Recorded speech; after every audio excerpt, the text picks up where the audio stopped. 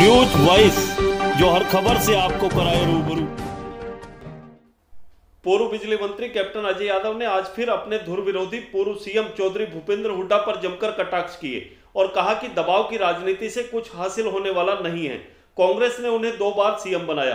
अब उन्हें party supremo, Sonia Gandhi और राहुल गांधी पर विश्वास करके पार्टी काडर के मुताबिक एक सच्चे सिपाही के तौर पर काम करना चाहिए।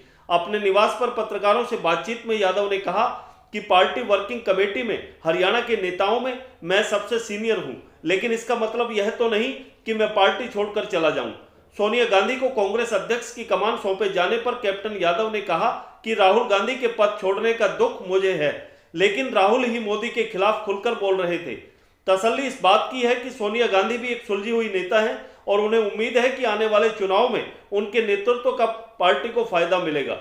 धारा 370 हटाने के सवाल पर उन्होंने कहा कि यह कोई राष्ट्रवाद नहीं, बल्कि चुनावों को देख वोट बटोरने के लिए लिया गया फैसला है। अगर यही राष्ट्रवाद है तो सरकार धारा 371 क्यों नहीं हटाती, जो सात राज्यों में लगी है?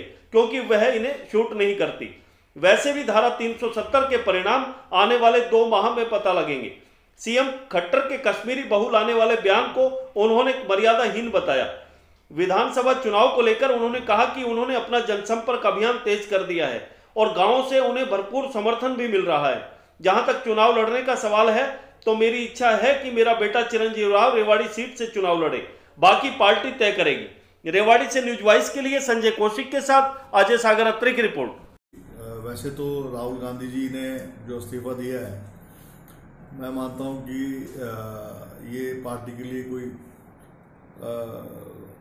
मैं समझता हूँ कि उन्होंने जिस तरीके से मेहनत से काम किया और लगन से काम कर रहे थे और वही एक ऐसे शख्स थे जो मोदी जी के खिलाफ जो है खुल के बोल रहे थे। आ, उनके पद छोड़ने से जो है हमें मुझे तो व्यक्तिगत तौर पे बहुत दुख है उनके साथ काम कर, करते हुए देखा। लेकिन जो है तसल्ली इस बात की है कि सोनिया गांधी जी जो हैं वो सबको जानती हैं। और आखिरकार जो है जो वर्किंग कमेटी के मेंबर्स हैं उनकी बात मानते हुए सोनिया गांधी ने जो ये कार्यभार एज इंटीरियम प्रेसिडेंट संभाला है तो हमें उम्मीद है कि जो हम अभी हमारे आने वाले चुनाव हैं इसमें हमें नेतृत्व भी ठीक मिलेगा। और मैं उम्मीद करता हूँ कि आने वाले समय में राहुल गांधी जी पुनः जो है हमारे अध्यक्ष बने ताकि जो है पार्टी में और ऊर्जा पैदा हो और हम काम साहब फैसला लेने जा रहे हैं अट्ठारह तारीख को बड़ा फैसला। क्या प्रतिक्रिया रहेगी ऐसा है दबाव की राजनीति से कुछ नहीं होता। उनको दो बार मुख्यमंत्री सोनिया गांधी जी ने बनाया है। उनको एक सच्चे सिपाही के रूप में जो भी उनको काम दिया जा रहा है। उनके बेटे जो हैं वो वर्किंग कमेटी में स्पेशल इन्वाइटी हैं। और मैं समझता हूँ कि आ, मैं जो है जितने भी ये नेता हैं जो वर्किंग कमेटी में हरियाणा के उन सबसे सीनियर हूँ। लेकिन ये इसका मतलब थोड़ी ना है कि मैं पार्टी छोड़ चले चला जाऊँगा तो ये कोई उचित बात नहीं तो पार्टी के एक सिपाही के रूप में काम करना चाहिए। पार्टी में बड़ा छोटा कोई नहीं होता।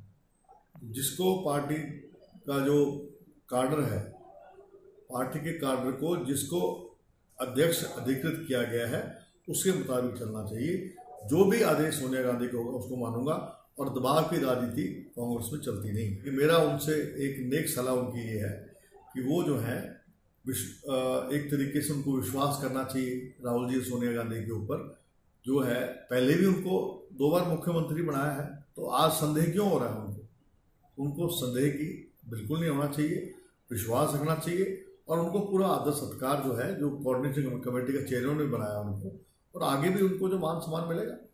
ये ऐसा है कि आ, ये जो तीन सौ सत्तर जो धारा हटाने के बाद थोड़ा बहुत जो है दोबारा से क्यों ये तो आप जानते हैं, चुनाव देखकर 370 आर्टिकल से या इनको राष्ट्रवाद की बात नहीं है, ये तो ये किस प्रकार से हम वोट बटोर सकते हैं? तीन सौ सत्तर तो आर्टिकल हटा दिया, तीन सौ इकहत्तर क्यों नहीं हटाते सात सात स्टेटों में? क्योंकि वो उनको सूट नहीं करता है। जो सूट करता है, तीन सौ सत्तर आर्टिकल हटाया, हमने उसका जो है, कहा है कि ठीक है। और मैं उसको सही भी मानता हूँ, पैंतीस ए को भी सही मानता हूँ। लेकिन मेरा ये कहना है कि आप चुनाव से पहले तुरंत क्यों करते हैं? ताकि उसको आपको राजनीतिक लाभ मिल सके। इससे पहले जो है बालकोट का जो मामला हुआ, वो भी चुनाव से पहले किया, लोकसभा के चुनाव से राष्ट्रवाद की बात करी।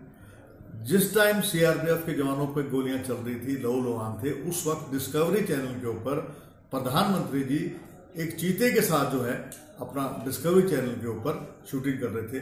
क्या ये राष्ट्रवाद है? मेरा प्रश्न है। बीजेपी के लोग इसका जवाब दें। ऐसा है। मैंने तकरीबन जो है ग्यारह गाँव किए हैं। सिवाय एक गाँव में थोड़ा बहुत रिस्पांस थोड़ा ठीक नहीं था, बाकी दस गाँव में रिस्पांस ठीक था। मैं समझता हूँ कि जो पिछली बार 2014 है, उससे बेटर रिस्पांस था। लोग ये मानते हैं कि मैंने तो मैंने लोगों से ये कहा कि केवल सत्ता में रहने से बात बनती, विपक्ष भी तो मज़बूत होना चाहिए इसके परिणाम क्या होंगे, तीन सौ सत्तर के। वो आपको महीने, दो महीने बाद पता लगेगा। हालाँकि, मैं ये मानता हूँ कि इस प्रकार की धारा, तीन सौ इकहत्तर धारा भी क्यों है? जब हिमाचल के लोग यहाँ आके ज़मीन ले सकते हैं, नागालैंड के लोग हमारे लोग वहाँ ज़मीन जाके क्यों ले सकते? और जो कल जो है मुख्यमंत्री जी ने कहा कि हम कश्मीरी बहू लेके आ जाएँगे, ये उनके, मैं समझता हूँ कि मर्यादा में रहकर कोई व्यक्ति को बात कहनी चाहिए।